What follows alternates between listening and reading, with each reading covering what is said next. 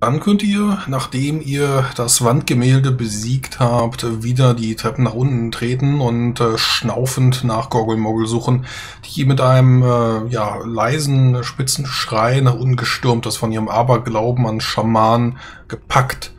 Äh, findet ihr sie dann äh, einige Treppenstufen später, wie sie dort äh, ängstlich nach oben schaut.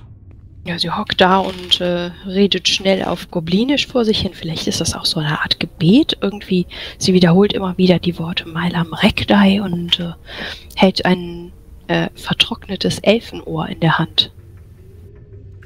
Äh, Goggelmogel, wir haben, wir haben das Bild äh, besiegt. Wir haben oh. es zerstört. Schamanenkraft weg? Ja, das hoffe ich doch. Äh, ich denke schon. Oh. Oh, danke, Mailam Rekdai, dass du uns beschützt hast. Ja, ich muss zugeben, gib dem Elfenohr einen Schmatz. Ich muss. Äh, Travigor mustert das äh, ein bisschen äh. Äh, ich muss zugeben, ich hatte auch ein wenig Angst, aber es ist besiegt. Äh, diese, diese Falle, diese garstige Falle des, äh, des Drachen haben wir besiegt. Ein Glück, ja. dass ihr so tapfer seid. Ja, der Baron ist sehr tapfer gewesen. Hab Dank, hab Dank. Das hört man ja, nicht genug. Wenn ihr nicht vorgestimmt wäre, ich glaube, ich wäre hinter der Gobliner hinterhergerannt. Danke. Äh, Travigor will nicht Menschenkenntnis würfeln. Er nimmt das Kompliment einfach so an. Ja, während äh, ihr in der Dunkelheit der Turmruine steht, äh, bisher noch keine richtigen Fackeln angezündet, nur Goggle Moggle kann hier etwas mit ihrer Dunkelsicht und Nachtsicht. Was hast du von beiden? Nachtsicht. Nachtsicht. Ähm, haben die anderen beiden wohl das Gefühl, als würden die Steine um euch herum sich bewegen? Noch so ein, wenn ihr genau hinhört, Schaben oder Schleifen könnt ihr hören, habt ihr zumindest das Gefühl. Oh, noch mehr Magie.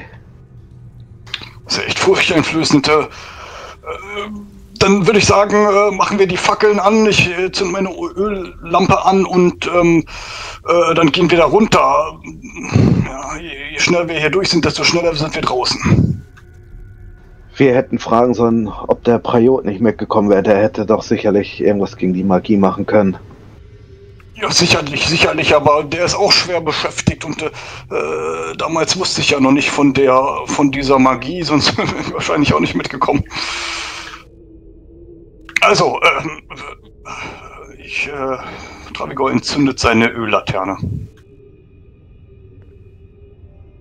Hakon würde denn eine Fackel entzünden. Und äh, so fühlt ihr euch dann doch etwas sicherer, wenn ihr die Steine noch einmal abtastet. Äh, mit euren Blicken und auch vielleicht mit euren Händen. Sie bewegen sich doch nicht, aber Schaben. Jetzt hört ihr sowieso noch das Prickeln der Fackel und die Öllampe, die so ein bisschen zischt. Und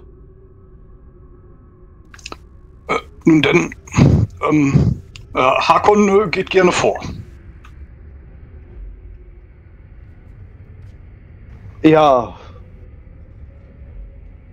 und ähm, ich würde dann erstmal ein paar Meter in den Raum weiter reingehen. Ja, wenn ihr die Treppe nach unten gekommen seid, steht ihr erstmal in einem großen Säulengang, der vor euch aufragt. Guckt euch ein bisschen um und äh, könnt dann außer den vielen Säulen am Rand links, rechts jeweils zwei Reihen äh, nicht viel erkennen. Eine Tür eine große Portaltür, die wohl äh, aufgebrochen worden ist mit viel Gewalt, mit viel Kraft und auch einiges Feuer, einige weitere Kämpfe, die ihr erkennen könnt. Einige Säulen sind wohl auch an, umgestürzt. Ja, das war wohl ehemals ein großer Rittersaal. Ich hoffe, die Decke fällt uns hier nicht auf den Kopf, aber äh, naja, das wird wohl schon eine Weile so gehalten haben. Ja, hier, ja, erstmal diesen... hier hat man sicherlich auch gut feiern können. Ja, kaum vorstellbar in dem Zustand, wie es jetzt ist. Äh, sollen wir diese Seitentür da mal versuchen oder diesen Seitengang? Ja, es sieht auf jeden Fall nicht so ramponiert aus wie diese große Flügeltür da vorne. Na dann, äh, So, geht soll vor ich euch. Ja, okay. Ich folge euch auf dem Schritt.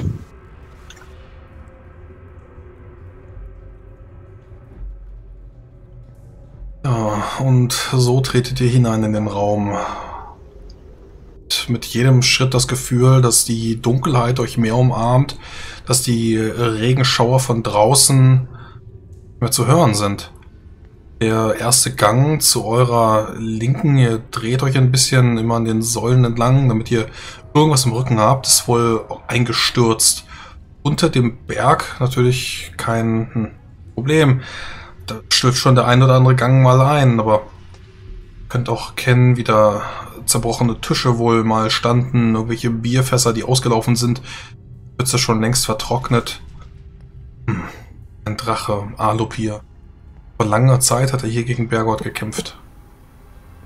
Als ob man in die Vergangenheit blicken würde, als ob man immer noch die Stimmen und die, die Gesänge von, von Bergort hört, wie wie er hier seine Märchen erzählt mit seinen anderen Rittersleuten vor einer vielen Jahrhunderten muss es gewesen sein.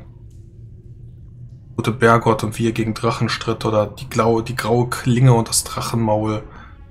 Würde er wohl laut den Geschichten der Baden, die Travigor wieder in den Sinn kommen, eine Trollklinge. Schwert der Trolle, was allerdings so schwer war, dass er es umschmieden ließ zu einem gewaltigen Speer. Schuppenbrecher.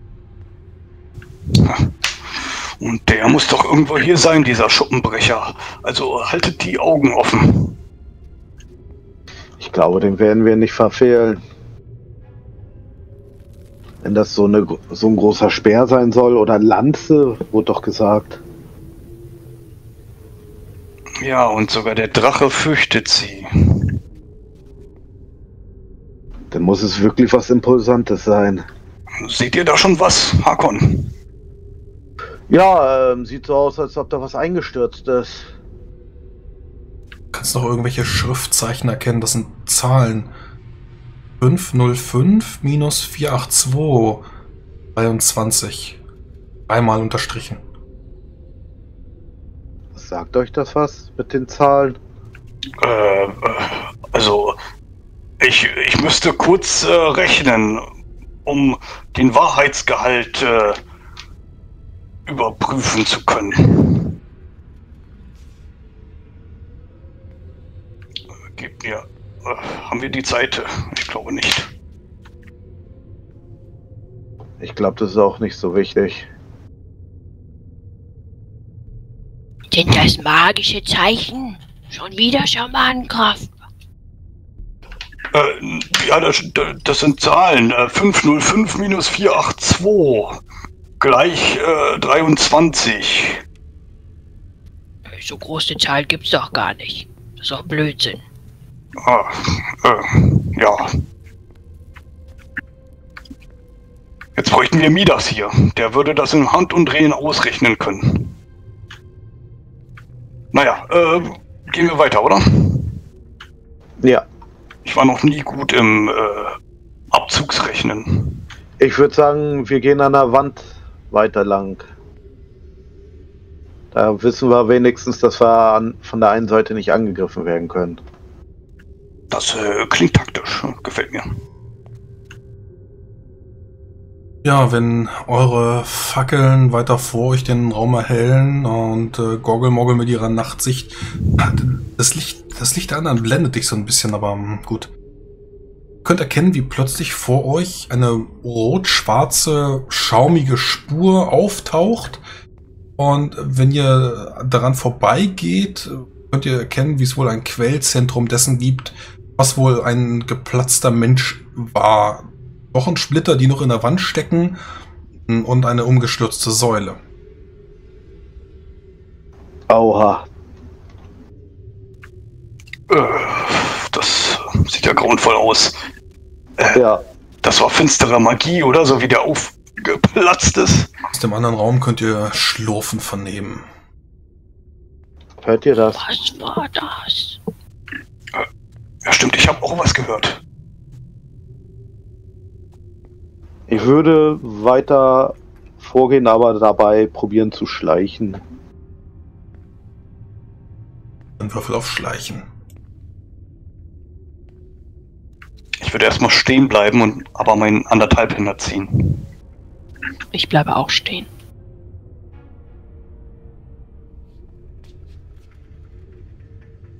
Ja, das Schlurfen geht wohl weiter.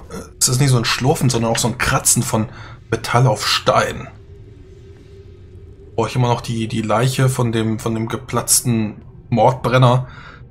Das ist ja sicherlich einige, einige Monate her, der, der Kampf gegen Alupir. Und wenn ihr zwei, drei Säulen weiter guckt in den Raum hinein, könnt ihr tatsächlich auch erkennen, wie da zwei, drei Bolzenpfeile in der Säule drin stecken, als ob irgendeine mechanische Falle eines Zwergen oder so, eine, eine Grabkammer gesichert hätte, aber vielleicht ist Alupir sogar in der, in der Lage gewesen, so etwas hier aufzubauen. Mechanische Fallenkonstruktion. Vielleicht sind hier noch mehr. Also ich, ich muss zugeben, äh, mechanische Fallen, davor habe ich eigentlich keine Angst. Äh, meistens äh, hält das mein Kettenhemd, aber wenn die so von Magie erstellt wurden, ach, läuft mir äh, eiskalt über den Rücken. Hakon, vor dir auf dem Boden liegen zwei Silbermünzen. Ich äh, erblicke die Silbermünzen, schaue mich erst einmal nach links und rechts um und bückt mich und hebt sie vorsichtig auf. Was passiert? Dann lächle ich leicht und stecke sie mir ein. Plötzlich könnt ihr erkennen, wie etwas aus dem anderen Raum hervorstellt. Ein schwarzer Ball. Initiative.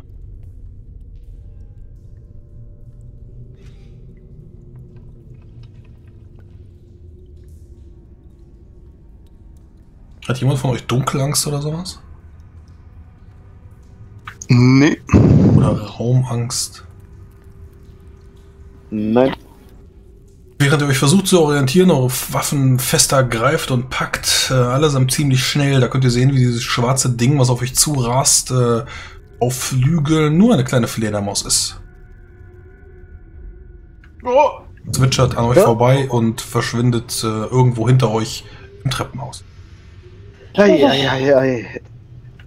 Da ist mir glatt das Herz in die Hose gerutscht. Äh, ja, also ich muss äh, zugeben, ja, äh, ähm, das war, äh, ja, äh, unheimlich auf jeden Fall, unheimlich. Äh, aber äh, das hat dann wohl diese Geräusche gemacht, richtig? Ich, Vielleicht. ich glaube nicht. Ich hatte da was gehört, das irgendwie was Metallisches äh, geklungen hat. Antwort aus Irgendwie- dem anderen Raum ist ein weiteres Kratzen. Schlurfen. Oh, Hm. Vielleicht äh, eine weitere Illusion, so wie das Bild nur äh, fürs Gehör. ich glaube, sollen wir weiter vorgehen? Mm, Ja, äh, lass uns weitergehen. Vielleicht ist Aber- das alles nur ein Lass uns bitte, lass uns aber bitte ähm, weiter leise vorgehen. Gut. Ja, ich bin ganz leise. Guggelmuggel, du kannst vor dir in der Ecke des Raumes erkennen, wie dort wohl ein uralter Foliant äh, auf einem Pult liegt, in dicke, schwere Häute gebunden und an einer dicken Kette. Haben den anderen wohl übersehen. Äh, Travigor, Hm? äh, warte mal, da ist so ein äh, Ding sie zum drin lesen. Guck mal in der Ecke. Ist das wichtig? Äh, tatsächlich, äh, äh, ich kann ja mal gucken, was, äh, was das für ein Buch ist. Warte mal, warte mal. Ich will mich erst umgucken. Nicht, dass da noch eine Falle ist. Ähm, kann ich eine theoretische Fallenstellenprobe machen, um zu gucken, ob mir irgendwas. Ja, Merkwürdiges finde ich, auffällt? gut, finde ich gut, ja. Soll ich ja irgendwas an den Talenten ändern oder einfach mal so schmeißen? Äh, würfel mal so, ich würde ein Talent gegen Klugheit austauschen. Nicht. Da drin ist die Klugheit. FF. Ah, dann würde ich die KK würde ich austauschen gegen Klugheit. Ja, gleicher Aber Wert. das, ja, ich wollte gerade sagen, bei der 2 müssen wir da nicht überlegen. Und ähm, es gibt hier zahlreiche Fallen, die sind wohl aber auch ausgelöst. Also du kannst, wie gesagt, erkennen, äh, Löcher in den Wänden, zumindest so mit deiner rechten, und dann daneben äh, zwei Säulen später dann die, die Pfeilschuss ähm, Vorrichtung, wie auch immer Alup hier das hinbekommen hat. Glaubst nicht, dass das Bergot war.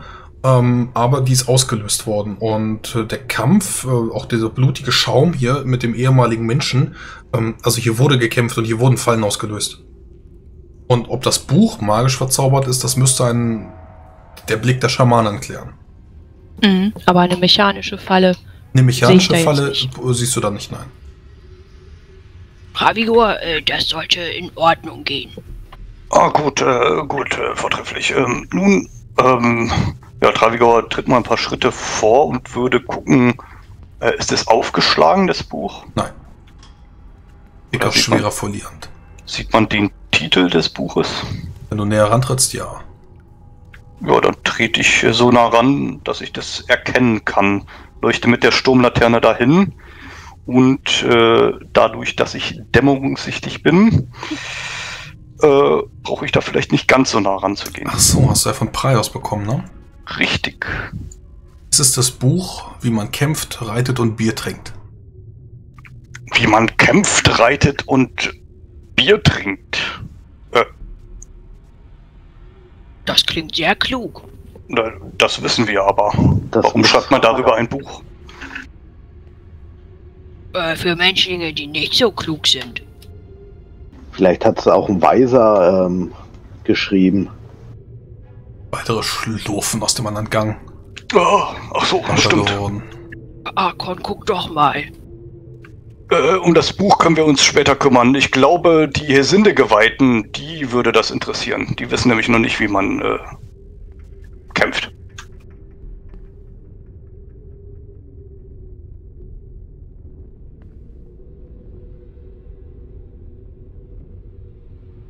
Ja, die können es ja dann nachher auch rausholen. Aber ich gehe dann mal weiter und guck.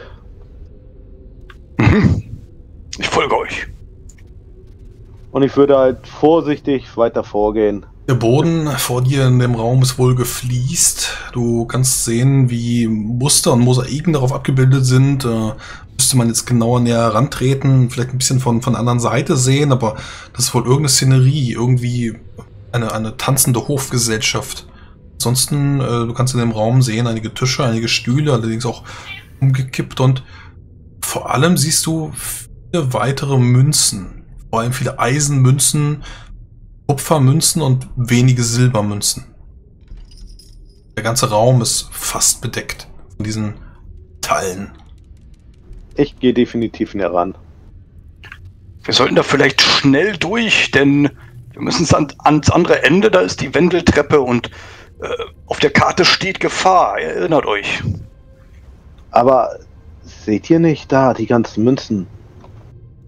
Das ist doch zu ja, das ist zu schade, um die da liegen zu lassen. Aber wir können uns darum jetzt nicht kümmern. Ich, ich kann euch gut bezahlen, wenn wir wieder in meiner Baronie sind, in Dergelsmund. Also lasst die Münzen erstmal da.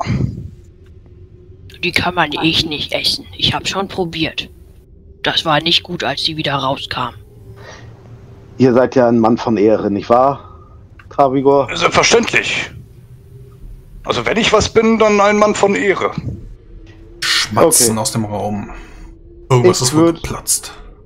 Ich würde jetzt äh, an den Türrahmen gehen und dann mit dem Kopf halt reingucken, um mich da umzuschauen.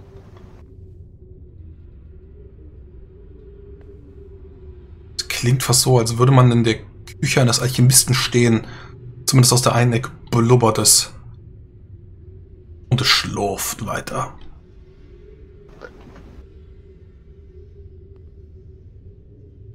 Kann ich Ja. mal schnuppern?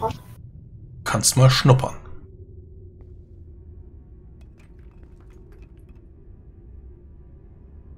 Oha, was sagt meine Nase mir denn? Alt und faulig. Fast so faulig wie oben der Wandteppich. Eiter durchzogen. Goggelmogge wirkt einmal. Das hat man wirklich nicht oft gesehen, dass sie das gemacht hat. egal bei welchen Sachen. Und äh, sagt dann, Das, das riecht so wie, wie das Teppichdingen da oben. Oh, böse Schamaninnenmacht. Vielleicht tatsächlich eine magische Illusion. Könnt ihr was sehen, Hakon? Ja, kann ich was sehen oder? Ja, kannst du was auf der Karte sehen? Nö, kann ich nicht. Nee, ich sehe leider noch nichts. Ich muss ein bisschen weiter reingehen. Leise weiter, ja. Ja. Und ich würde dann probieren, dort sehr leise rein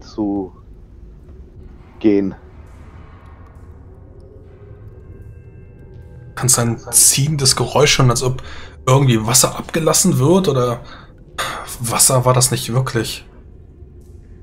Irgendetwas blub nochmal. Und dann wieder diese Schleifen von Metall auf Stein. Kratzen. Ich würde jetzt da an die Ecke gehen und wieder gucken.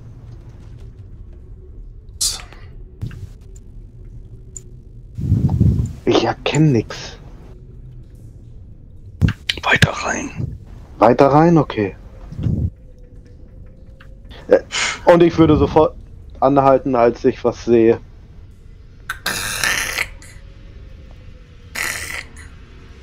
Ein großer Blob, ein Ding aus Schleim.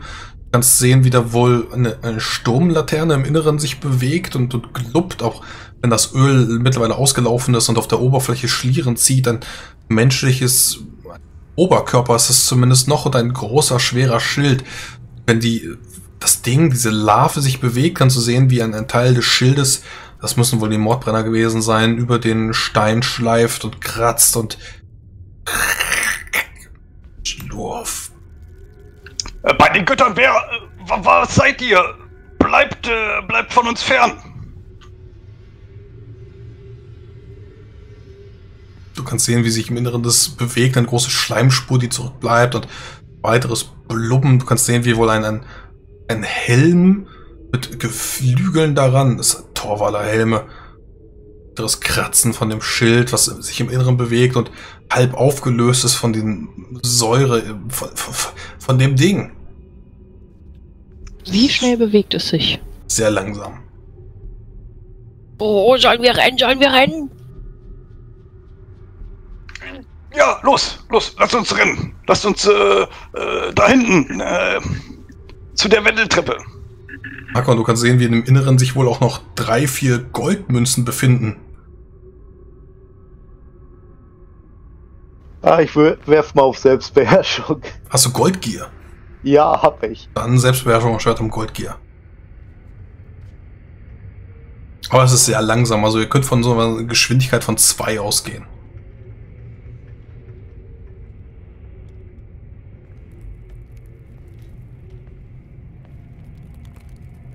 Ja, es ist misslungen. Ja, derweil kannst du äh, hören, wie hinter dir Travigor äh, anfängt zu laufen. Ich Ja. renn Travigor hinterher. Hakon, kommt! Lass das Geld da! Das sind aber. Das ist so viel Gold. Oh, Ja. ich will dich fressen, ich will dich fressen. Ich greife an. Okay, dann Initiative. Das, äh, der Blob hat eine Initiative von 6 plus 1w6, dann bin ich bei 12. Kann ich unterbieten. Das kannst du sogar unterbieten, ja. Hast du kein, keine Kampfreflexe oder sowas? Nee. Okay, dann äh, ich äh, bin dran und mache eine Aktion Position und würde dich dann mit einem Schleimblob angreifen. Möchtest du vorziehen? Hakon. Dann nicht. Dann greife ich dich mit einem Schleimblob an und ich würde treffen für sagenhafte 1w6. 5. Ja, ich würde probieren zu parieren. Du musst ein Schleimtentakel parieren. Jo.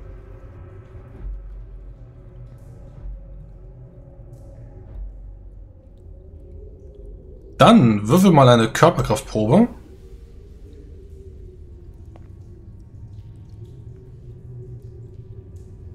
Und du merkst, wie der Tentakel an dem Schild haftet. Und nicht mehr loslässt. Was wollten die anderen tun?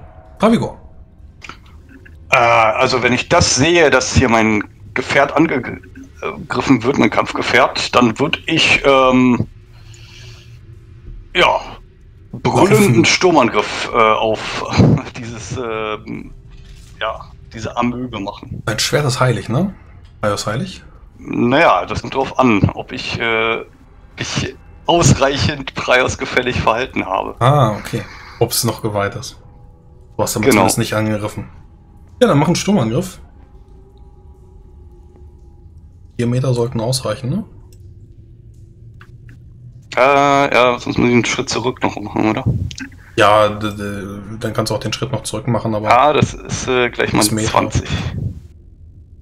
20? Äh, muss ich nachwürfeln, richtig? Äh, ja, normalerweise macht er das automatisch, wenn du auf Attacke gehst, aber Achso, das habe ich nicht gemacht. Ah, okay. da rollt der Würfel wieder unendlich lange. Ist das, weil ich Alt drücke, kann das sein? Das kann sein, ja. Okay. 16, das Äh, ist. das ist äh, kein. Äh, doch, äh, ist ein richtiger Patzer wegen der Erschwernis. Ja. Waffe verloren gegen einen Blob. Okay. Ähm, möchtest du deinen Schicksalspunkt benutzen? Äh, ja, gern. Ja. Gut. Dann würfel dein, äh, deine 20 nochmal neu. Hast du einen Schicksalspunkt? Ja, hast du. Bonga hat seinen verloren. Das sieht Dann ist das äh, gelungen. Ja, genau. Äh, kurz vor deinem geistigen Auge hackst du einmal zu und siehst, wie dein Schwert äh, von Priodo gesegnet in dem Blob verschwindet. Aber äh, zum Glück war das nur irgendeine finstere Vision, die dich ereilt hat. Und äh, die Lave platzt unter dir und äh, spritzt so ein bisschen zu allen Seiten. Ähm, das war dann Sturmangriff. Dann darf noch Hakon. Soll ich noch Schaden Ja, ich, Kannst du machen. Ich greife an.